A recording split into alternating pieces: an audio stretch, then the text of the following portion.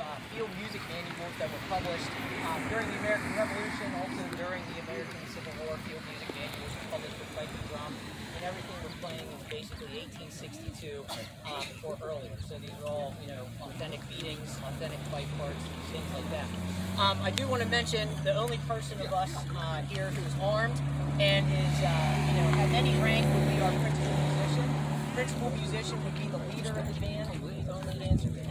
Um, he basically commands us and tells us what to do on the march. Uh, we'll do the dress parades and other things like that by putting this baton up, cutting us off, starting us with music, having us wheel, and so on and so forth. And manuals that describe all the directions for the uh, principal musicians and drum majors. Um, we also have a bugle here, which we'll look at here in a second. Um, like the, drums and fifes, the bugle would also be able to play duty calls. Um, you want to play fatigue. All right, we're going to play fatigue call, which was the same duty call that we played on the drums